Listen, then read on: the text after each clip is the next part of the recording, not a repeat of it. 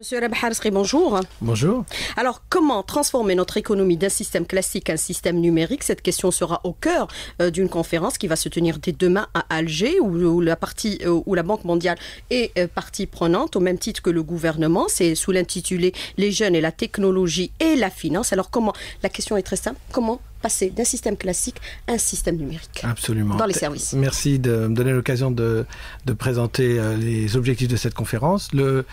Donnez-moi, laissez-moi donner un peu de contexte à cette, à cette conférence. Pendant très longtemps, le, la région euh, Moyen-Orient et Afrique du Nord s'est reposée sur des moteurs de croissance qui sont des moteurs de croissance liés à la dépense publique, liés à l'emploi public.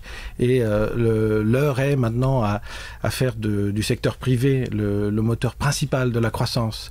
Et euh, nous pensons que de façon très spécifique, le secteur des services est incluant l'économie numérique, est aujourd'hui un, secteur viable, étant donné euh, l'importance euh, de cette population jeune, éduquée, instruite, et qui, elle, est en contact euh, de façon plus forte avec la technologie.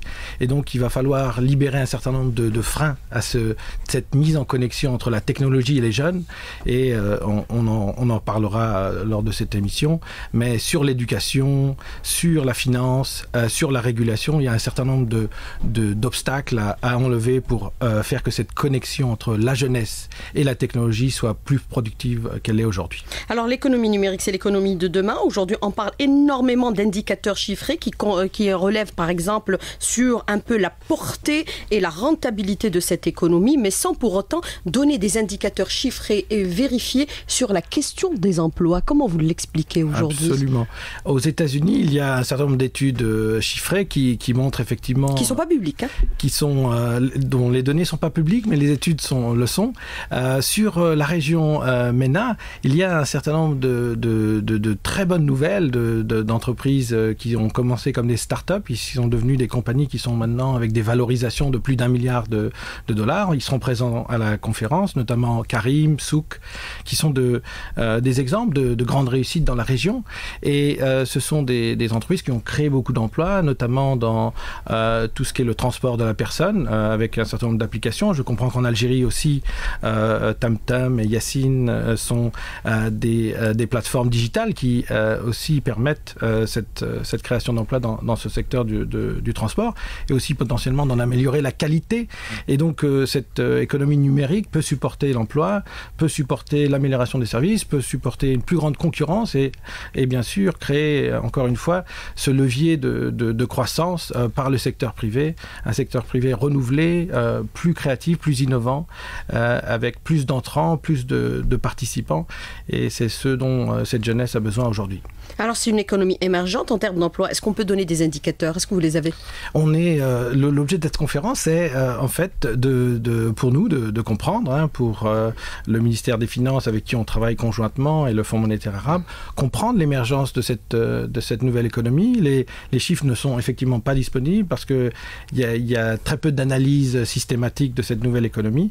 Mais l'objet de cette conférence euh, c'est de, euh, de donner cette place prominente à, l'étude de, cette nouvelle économie, de la comprendre et, peut-être de l'accélérer avec des, politiques publiques. Alors, euh, Monsieur euh, vous dites que pour permettre l'émergence de cette économie, il faut libérer un certain nombre de freins. Qu'entendez-vous exactement par là, par le nombre de freins qu'il faut absolument aujourd'hui lever? Est-ce qu'il faut y aller impérativement? Il faut, il faut y aller parce que cette jeunesse nous montre euh, avec, euh, avec son, don, son esprit d'entreprise euh, que finalement il, est possible d'avoir de, des, des succès. Il y a un certain nombre de success stories qui sont, qui sont algériennes, qui sont aussi dans la région. Et donc cette jeunesse nous montre qu'elle a envie d'y aller et, il y a un certain nombre de, de, comme je vous disais, de, de success stories qui, sont, qui nous montrent que ce levier de croissance est, un levier à ne pas sous-estimer. C'est un levier qu'il faut absolument encourager. Euh, et euh, les, freins dont on parlait sont des, freins liés à peut-être euh, de façon plus précise dans le système de l'éducation, essayer de, préciser ce, passage vers cette économie nouvelle, de faire que le, le système éducatif s'adapte plus aux métiers de demain. Il faut aussi, dans la finance, libérer un certain nombre d'éléments qui, euh, qui permettent de, faire des transactions entre personnes de façon plus flexible. donc ça, ça va faire avec les, systèmes de paiement. Il faut aussi que la régulation soit une régulation qui encourage la, concurrence, qui encourage l'innovation. et, et là-dessus, il faut sortir aussi de cette, de cette perspective où la réglementation est simplement euh, vue d'un point de vue prudentiel. il faut que cette réglementation soit une, une réglementation qui encourage euh, euh, l'innovation, l'entrepreneuriat. Donc il faut revoir le dispositif législatif. Vous dites qu'il faut libérer pour les banques un certain nombre de contraintes. Vous faites allusion au paiement en ligne? Paiement en ligne, paiement par, euh, par ou les transferts euh, par euh, mobile. Là-dessus, il faut qu'un certain nombre d'opérateurs permettent, encore une fois, innovent. Et, là-dessus, je, mon, le message de la banque, c'est aussi innover par les politiques publiques, innover en, en laissant de l'espace à d'autres opérateurs et euh, permettre euh, une fluidification euh, de cette économie, parce qu'aujourd'hui, encore une fois, ces jeunes nous le montrent, ils sont capables d'innover, mais un certain nombre de freins, notamment dans, les systèmes de paiement, ne permettent pas de, de, de, de faire que cette économie arrive à son plein potentiel. Et ça, ça dans la région, c'est le taux de de, transactions sans cash est, est, euh, est très limité, euh, alors que la pénétration d'Internet est très élevée. Donc il y a euh, là-dessus, pour la région dans son ensemble, d'énormes efforts à faire pour soutenir cette nouvelle économie. Mais beaucoup disent aujourd'hui qu'encourager l'innovation, c'est oui, mais pas au détriment de l'équilibre économique. Comment faire? Au détriment de l'équilibre économique, je pense que vous référez au risque potentiel euh, que, euh, que cette innovation peut, euh, peut, peut, amener. Parce que vous dites libérer d'abord et réguler après. Alors que si on se réfère à un certain système, par exemple, au niveau de l'Europe, ils ont d'abord mis en place tout un dispositif réglementaire, puis libéré par la suite. Pourquoi nous, on devrait faire à l'inverse? Non, je, je dirais qu'en Europe, et on aura un certain nombre d'intervenants sur le sujet, en Europe, la, la régulation, surtout dans les secteurs secteur euh, très innovant où euh, finalement cette technologie est peu connue, il faut avoir euh, l'humilité de réguler euh, en, en, en allant euh, parce que finalement c'est une technologie qu'on qu ne connaît pas, qu'on ne maîtrise pas. Donc il faut avoir cette, cette humilité d'avoir un dispositif qui évolue, qui est flexible afin d'accompagner euh, ce secteur. Mais est-ce qu'il y a des modèles dont on pourrait nous inspirer dans l'étape actuelle? Absolument. Absolument. Le, le, le modèle européen sur la régulation des télécoms est un, est un modèle très intéressant.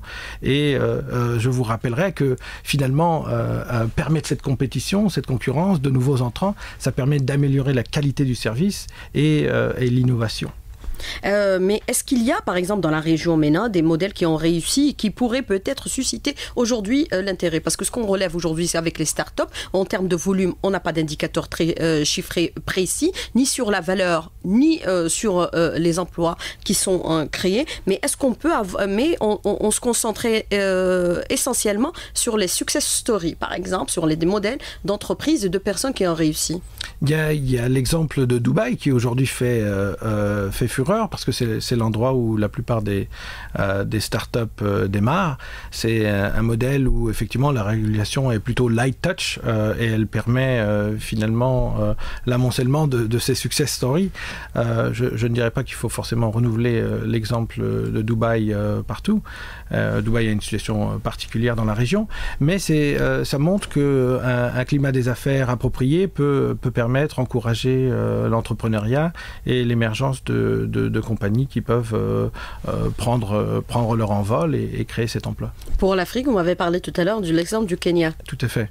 Le, le Kenya a innové dans le secteur du, des transferts de, de paiement par mobile et ça a permis, euh, dans, dans le cadre euh, d'une euh, situation où effectivement le, le système bancaire était, euh, était très peu développé, de faciliter les échanges entre les gens et ça a permis un certain nombre d'innovations dans, le secteur de l'agriculture et, d'autres.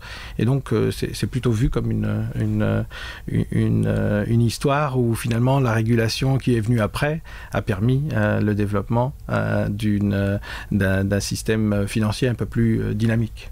Mais euh, au Kenya, certains considèrent qu'ils ont pris énormément de risques de telle sorte à ce qu'ils n'ont pas pu un peu sécuriser les comptes. Or que c'est l'exemple qui ne pourrait pas être suivi par l'Algérie. Comment vous l'évaluez?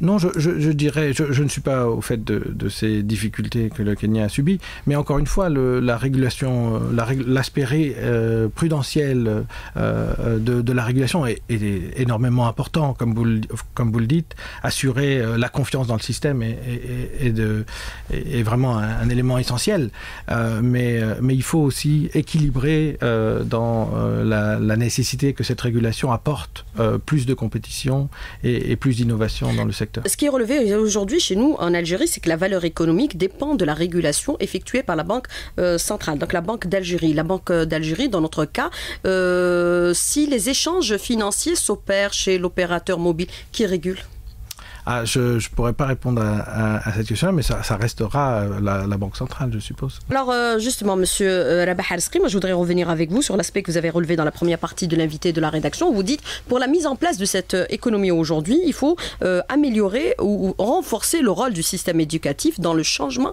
de, de l'état d'esprit de telle sorte à atteindre ses Absolument. objectifs. Comment cela, cela doit se faire Absolument. de façon concrète? Non, il faut, euh, il faut que le système éducatif permette d'apprendre à apprendre. Euh, c'est une, euh, cette nouvelle économie pointe à des changements qui sont perpétuels, qui sont euh, constants. Donc il faut absolument que le système éducatif permette cette adaptation constante à, cette évolution technologique. On est au milieu d'une transformation technologique majeure et il va falloir euh, essayer de, de, préparer euh, cette jeunesse à pouvoir en faire un atout plutôt que de, de, s'exposer à des risques qui pourraient être très importants.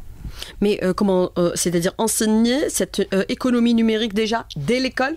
C'est enseigner en fait à, être constamment à, à la pointe euh, de, ces développements à apprendre à, apprendre euh, ce qui euh, évolue euh, donc c'est perpétuellement être dans, dans l'adaptation dans euh, comprendre euh, l'évolution de cette frontière.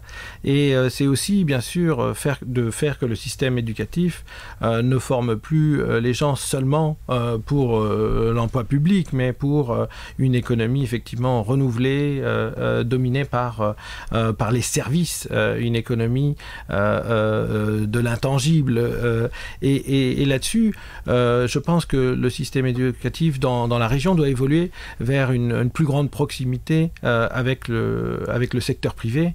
Et et là-dessus, il y a énormément à faire pour que les va-et-vient entre l'école et, les secteurs privés soient beaucoup plus répandues qu'elles le sont actuellement.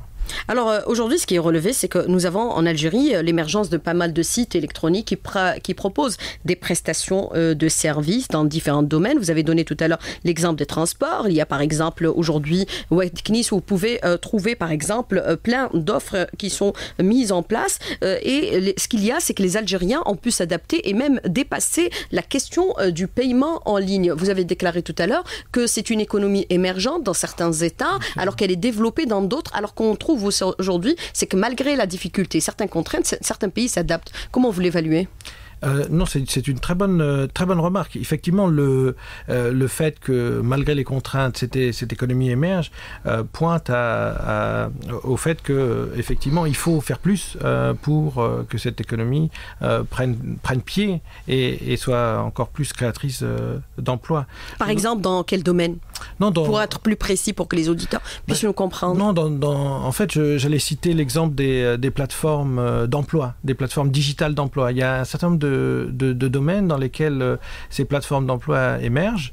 Elles permettent à la fois euh, la formation, euh, la formation continue en ligne pour les gens qui sont parfois dans les régions éloignées, les régions en difficulté et qui ont, difficilement accès à, des, cursus qui sont parfois très coûteux.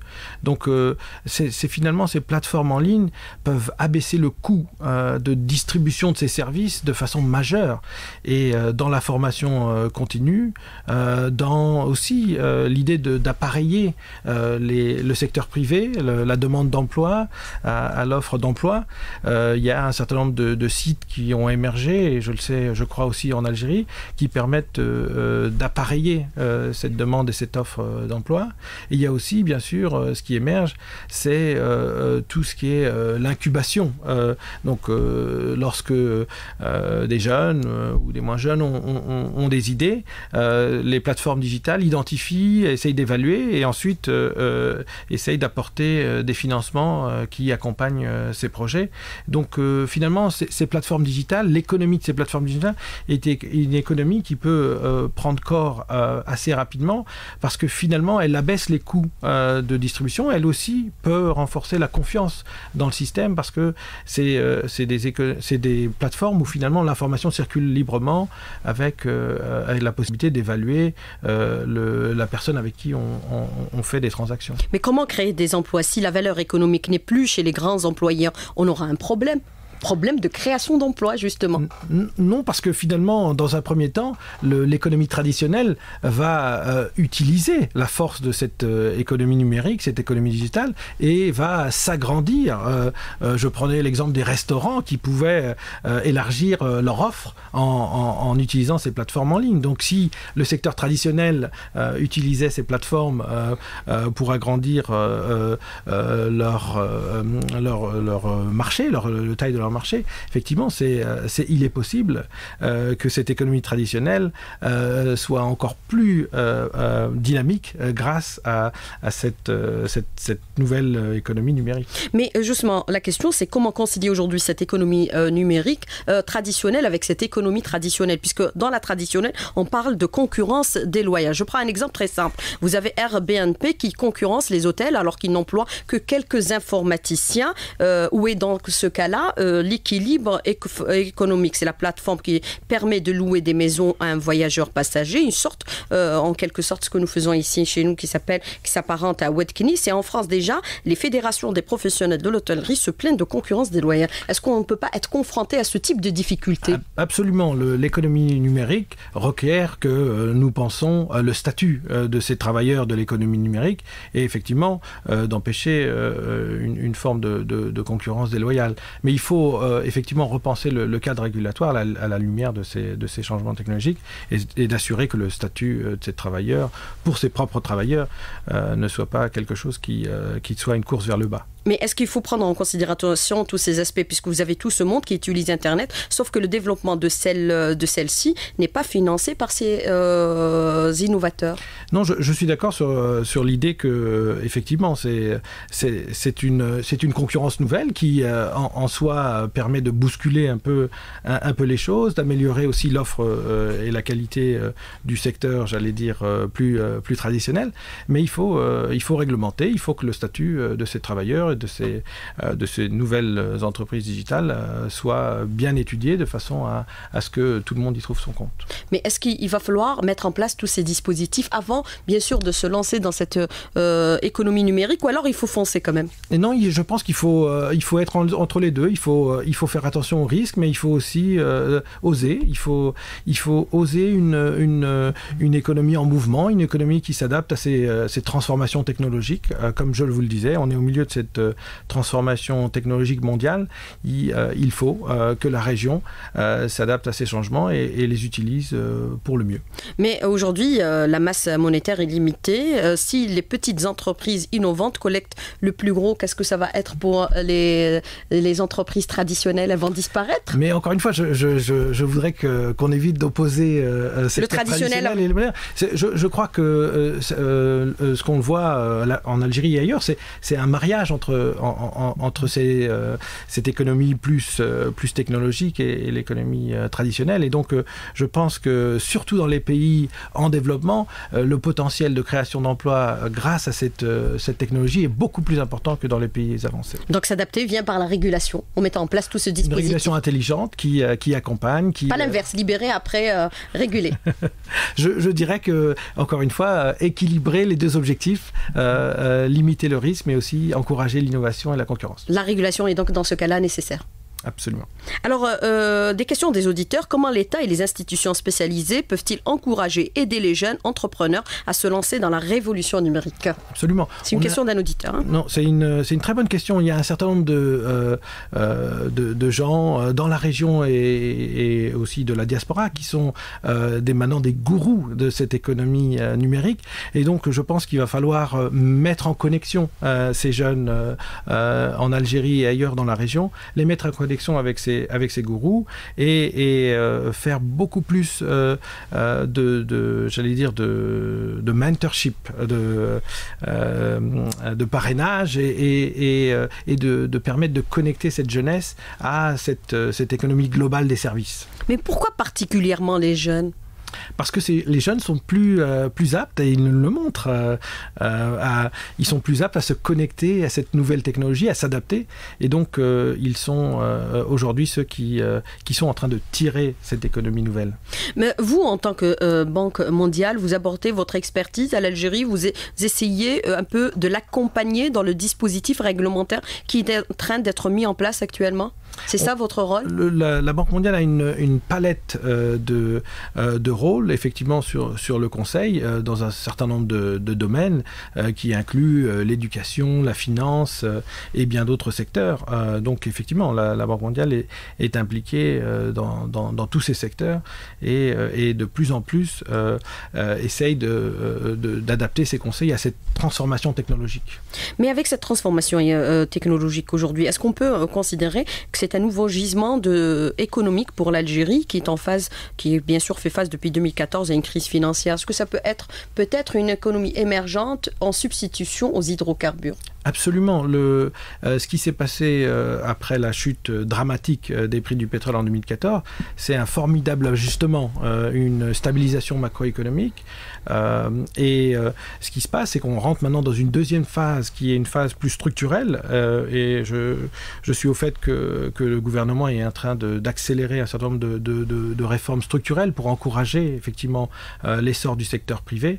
Et c'est dans cette deuxième phase que cette conférence euh, euh, prend, prend toute sa place et d'essayer de comprendre de façon spécifique comment on peut accélérer cette nouvelle économie, ces, ces moteurs de la croissance qui sont effectivement en dehors du secteur d'hydrocarbures. Alors, autre question d'un auditeur qui vous dit le paiement, le paiement mobile au Kenya est basé sur le compte virtuel. L'argent est transformé en airtime.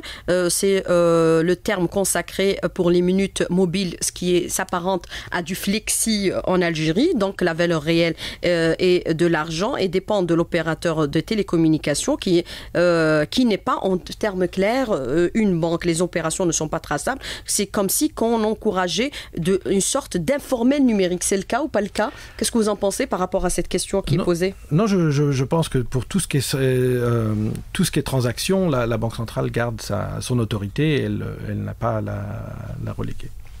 Alors, euh, en Europe, euh, on a permis euh, cela dans des champs limités. Par exemple, la carte prépayée du téléphone qui a donné la carte prépayée du bus, du théâtre. Donc, c'est de l'argent virtuel, mais qui est canalisé en termes clairs par les banques. Est-ce que c'est le, le dispositif qui devrait être suivi? Parce qu'il est beaucoup plus sécurisé aujourd'hui Oui, non, certainement.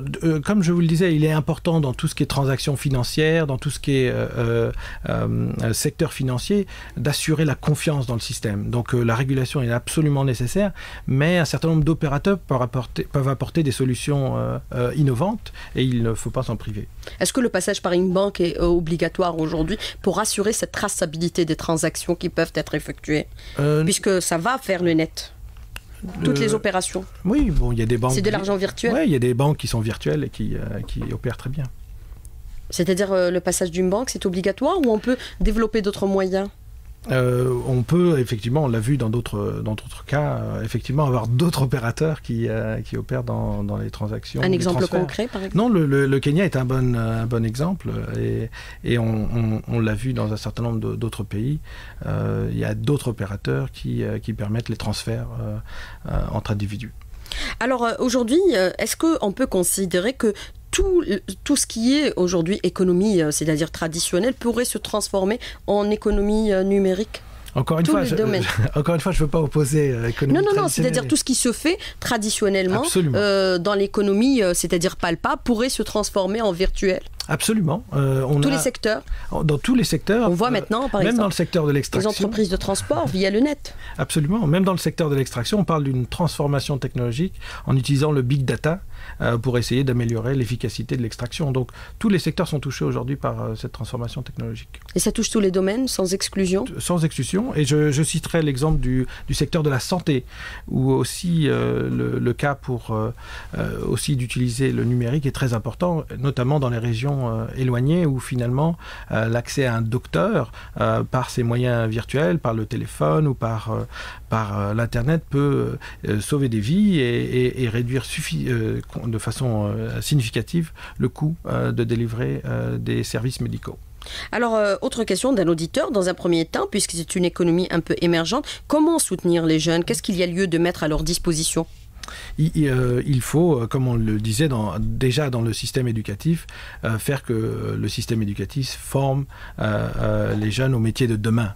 Et là-dessus, il est essentiel effectivement que le système soit à la page avec cette, frontière technologique.